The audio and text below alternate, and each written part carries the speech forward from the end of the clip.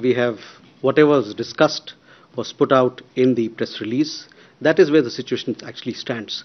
It is an ongoing process. As I told you, both sides held discussions on finding mutually workable solutions. So you must look at that to enable continued operation of, of Indian aviation platforms uh, that provide humanitarian and medevac services to the people of Maldives. And this is an ongoing discussion, so you know it, things will go forward uh, or things will be discussed in the next meeting of the core group uh, subsequently uh, soon.